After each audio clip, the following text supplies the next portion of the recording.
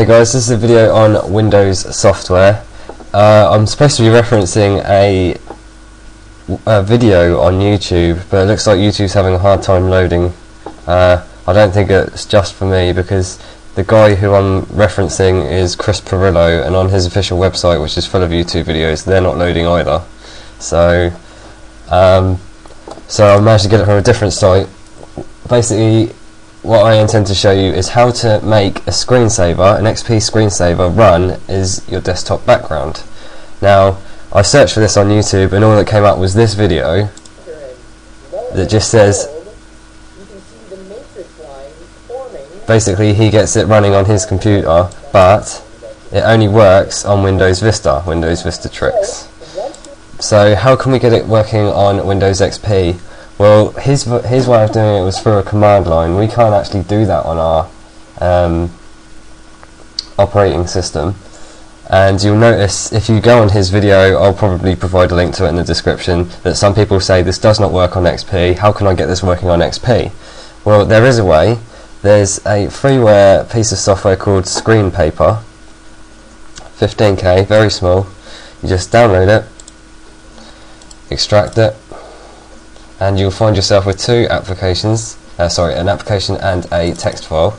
You'll notice that the it's actually designed for Windows 95, but it works on Windows XP, so that's all good.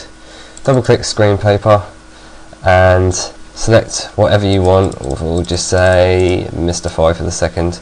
As selected screensaver, and you'll notice it's running in the background of my applications.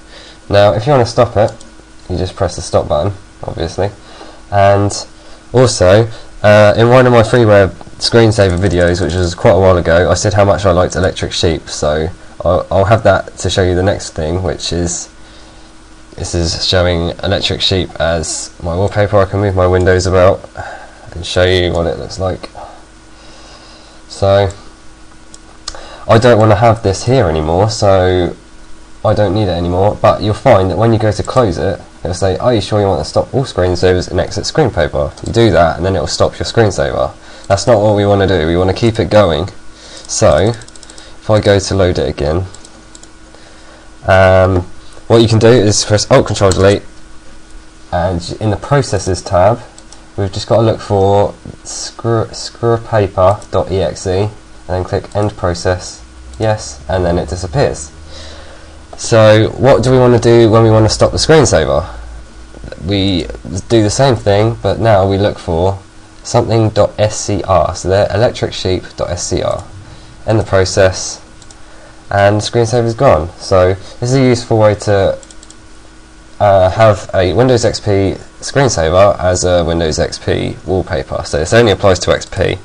I apologise not being able to show you the comments on YouTube, but it appears that YouTube doesn't isn't working so um, you can with this software as well which is I don't know why anyone anyone would want to do this but you can have two running at once. So you can say marquee and it should scroll a piece of text. Your text goes here. And then you can scroll another one Mystify on top of it.